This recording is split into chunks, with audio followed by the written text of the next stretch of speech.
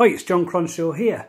Today, I want to talk to you a little bit about my series, The Ravenglass Chronicles, and more importantly, what inspired it. Now, this is a 22 novella series. It's finished, it's done, and it's inspired by the tarot. So what I did is each episode of this story is based on the imagery, it's based on the meaning of a tarot card, particularly in the major arcana. So the prequel is the Fool. So episode one, the Magician. And so I've been drawn to these cards since I was young. Um, the imagery, the meaning, uh, I find them to be a bit of a kind of stepping stone to reaching into your subconscious, which is great as a storyteller.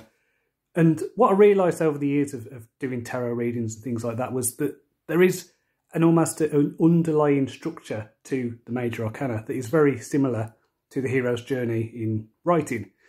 So I took it on myself to do what I saw as basically a concept album, um, and I wanted to do a series based on the major arcana.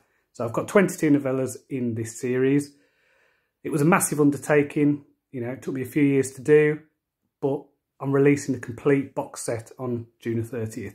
So what I'm going to do is I'm going to do a series of videos kind of talking about these cards, about how they inspired the story. So follow me, make sure you check out the videos as they come.